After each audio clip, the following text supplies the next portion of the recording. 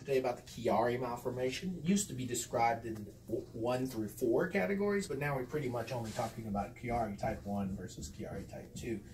As you know, the Chiari malformation is due to a volume problem between the posterior fossa and the cerebellum and the brainstem. And so when you have too much stuff in a closed space, the tonsils can go down the foramen magnum. When the tonsils descend below the foramen magnum, we call that the Chiari-1 malformation. If more stuff goes down the whole parts of the brainstem, more severe Chiari-2. The Chiari-2 is often associated with myelomeningocele and other problems. The Chiari-1 can be either congenital or acquired.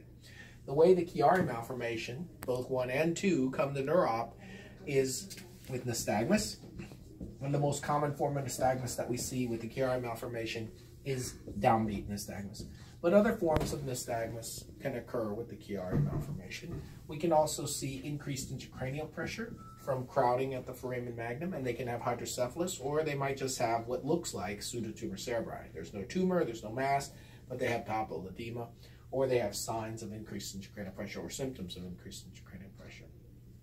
We can also have esotropia, either from a sixth nerve palsy that is non-localizing increased intracranial pressure related, or patients sometimes present with acute comitant esotropia. Comitant just means it's the same in all directions. So as opposed to a sixth nerve palsy, which is normally incomitant and worse towards the direction of the weak muscle, the lateral rectus and the sixth on the side that's affected, a comitant esotropia may be the presenting or only sign of the Chiari malformation.